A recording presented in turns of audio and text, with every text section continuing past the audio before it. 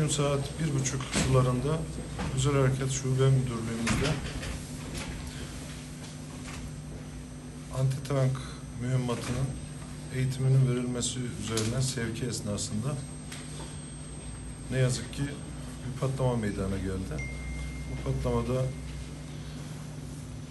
iki kardeşimiz hakkın rahmetine kavuştu, şehit oldu. Öncelikle başımız sağ olsun, milletimizin başı sağ olsun. Allah rahmet eylesin. Değerli ailelerine sabır cemil diliyorum. Hepimizin başı sağ olsun.